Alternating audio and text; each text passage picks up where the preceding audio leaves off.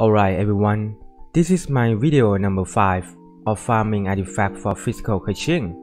So, let's do it. Okay, so let me try to start the fight with Bennett out. Xingqiu. And now, unleash Xiangling. I'm not going to lie that I got addicted to the national team. I think they are so fun to play with. Especially when you build them with high ER. Oh god, I got hit though. Never mind. Diona out. Bennett again. Sing Xingqiu. And now, Xiangling. Alright, done. So now let me see what I'm getting outside of the domain. Alright, but first thing first, please allow me to show you my physical Keqing build as quickly as possible, so I can track her progress as well, and these are her main stats as you can see. Details, crit rate, crit damage, ER, physical damage bonus, as you guys can see.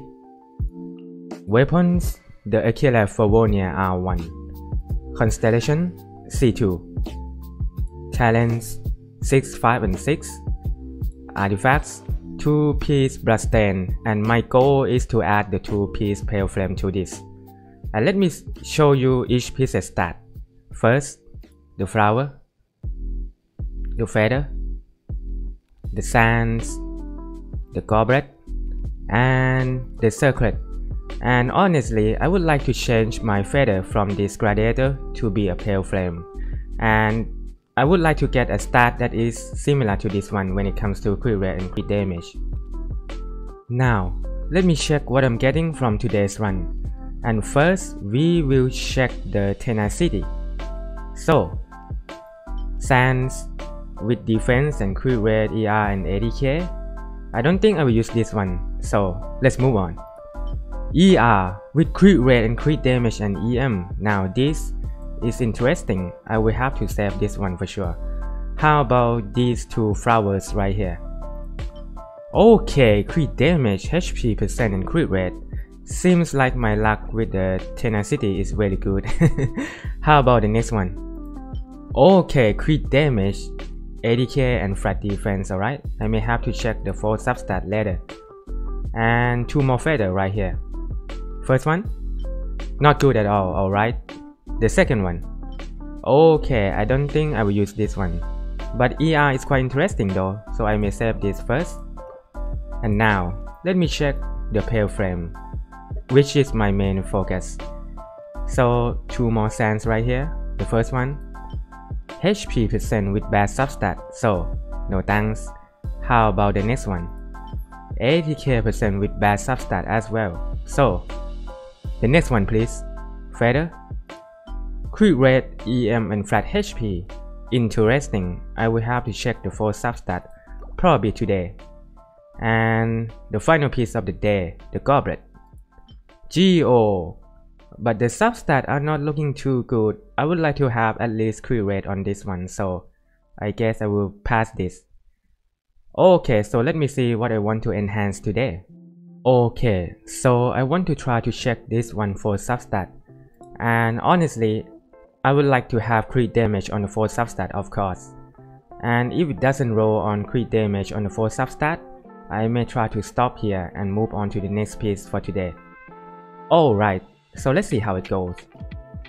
Here we go. Oh nice! Crit damage now this is what I'm talking about. Plus 8. Now, obviously, I would like it to roll on either crit rate or crit damage. So, let's see how it goes. Plus 8.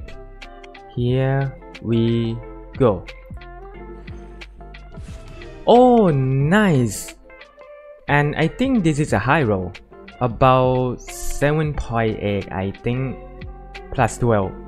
Will the RNG god brace me with another crit damage? Here we go. Oh my god. Now this is what I'm talking about 20% crit damage plus 12. We have to keep going obviously. I would like it to roll on crit rate, but you know what, another crit damage roll is not a bad thing. At this point, I just want either crit rate or crit damage, so let's see how it goes. Will the RNG god bless me again? Here we go. Oh, okay, flat HP, alright. But hopefully at plus 20, the RNG god will bless me with another crit rate or crit damage roll. So, here we go. Oh, perfect. Now this is what I like to see. Now this one is what I'm waiting for and I'm glad for this piece. I will probably have to drop my crit rate down from switching the feather for Keqing, but this is a better one to me, and I will take this any day. So this is the conclusion of my video number 5 of farming artifact for physical Keqing, and I must admit that I feel so satisfied with the enhancements. This feather is what I'm waiting for, and it turns out to be better than what I expected. Honestly, I already feel good with my physical set for Keqing now, and I think that I may move to farm the Noblesse and Bloodstained set. I would like to thank everybody for watching my video, and as always I hope all of you guys will have a great day, and good luck on every single thing that you're trying to do at this moment in Genshin Impact. Thank you so much, and see you in the next video.